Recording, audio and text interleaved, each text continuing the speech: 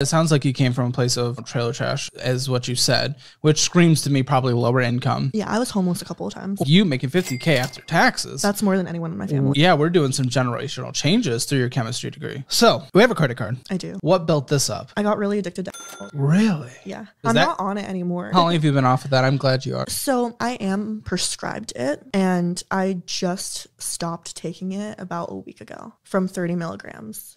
You were hoping that it was for longer. At least a month, not But I'm- a I- day. No, it's not been a day, it's been a week. a week, okay. That's diminishing the Seven days. Oh, you're right. How are you feeling? Good. I honestly feel really happy. Food tastes so good now. It diminishes the taste of food? It makes you not want to eat. Oh, You're not even fat. Don't even start. girl. I want some Wendy's nugs. Okay. Okay.